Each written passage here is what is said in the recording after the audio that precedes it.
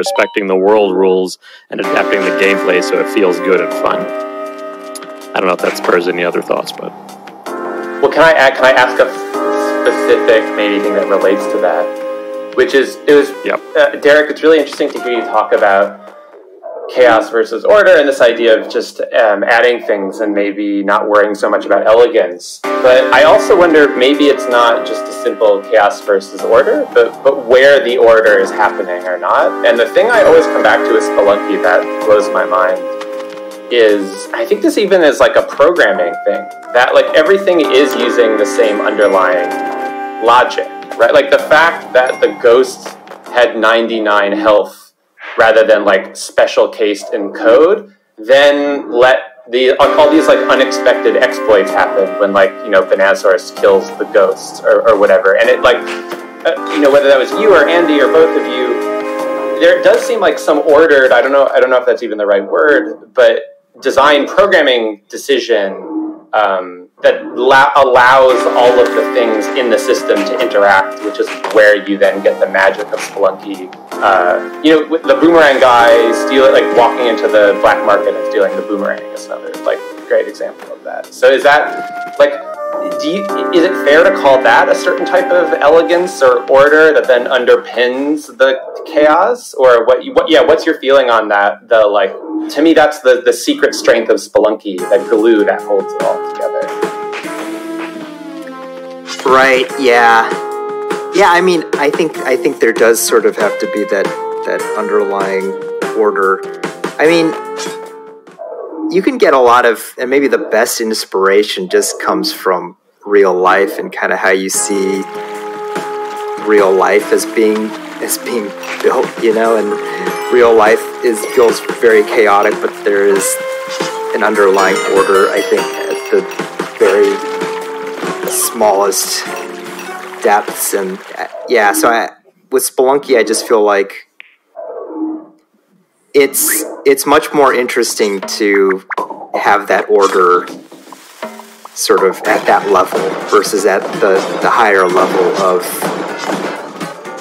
you know what what you're able to do or is this is this item balanced and things like that um, so yeah I, am still kind of playing with this idea of, of, order versus chaos which is why I, I was excited to, to bring it to you to you guys um, but ultimately, I just feel like there are a lot of these ideas in game design that are kind of accepted, right? That I, even with Spelunky 1, I was starting to question, like, does a game sort of need to start off easy and then just linearly get get harder as it goes? And I, by the time I was done with Spelunky 1, I felt like that was definitely not always true. Yep that that is the best experience for the player. Sounds like that's what you games themselves are so complicated and made from all these different little parts that it just some you know a statement like that that just it just that just seems way too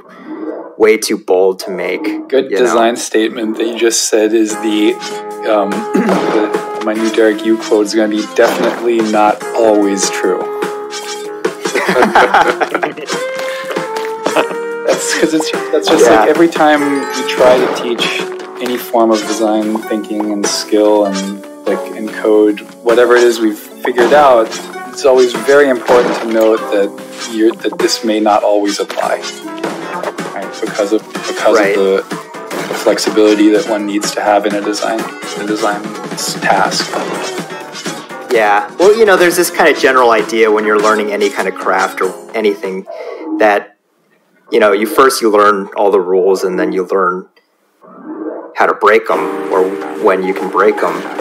And I think that's it's kind of true of playing games too, right? Like that's when people play games, they learn the rules and then they they figure out how they can break them and exploit them. And it's kind of interesting during the development of Spelunky 2, I'll I'll notice just kind of interacting back and forth with Blit on things. Um, you know, there will be occasions where, where like Mickey will come to me and say, you know, the the testers at Blit who've been playing the game, they like found some exploit, right, where they can just really easily do this, and it just I don't know if there's a boss they can just instantly kill the boss this way and it, and it just it feels way too easy or right like it just it feels like it, it that you shouldn't be able to do that and um, a lot of times I'm like really excited that you can do that. that like that's exactly what I want people to be able to do in Spelunky, and I want them to have that feeling all the time. Maybe not all the time, actually. I want them to have that feeling enough times of like, whoa, I I don't feel like I should have been able to do that at all. Yeah. But I did it, you know. This is the thing that. Oh, sorry. Uh, I was just. I think like on those lines, I, man, Andy and I are sitting right next to each other, and we can't even not interrupt each other. um, no problem. Uh, I, I think just on that line, I mean, uh, this this is this must be your first. Um, is this your first experience working with like a proper QA team, and then also like just having a QA team on a on a roguelike style game? I mean, I can't even. How many roguelike games in history have had proper QA teams? It's, it's so so irregular. Are there any? Um, any other sort of like strange interactions, or, or, I mean, what's what's that like working on this game um, with a team like that? It's great. I mean, most of my interaction is with Mickey. Um, Mickey, I call I, I just call him Mickey all the time. His, his full name is Miguel Pascual, but I call him Mickey, and so he's kind of like the lead on Blit's side. And so most of my interaction is is with him, and I think for the most part, it feels just like working with Andy or with Alec, where it's just very casual and, and easygoing and, and fun. But yeah, every now and then, Mickey will mention, especially getting builds ready for PAX and things like that. It'll be like, okay, you know, it'd be good if we had like a week of testing before we, we lock down the build, so we should have this done by this time, is something that, you know, Mickey will say to me. And that's new, for sure.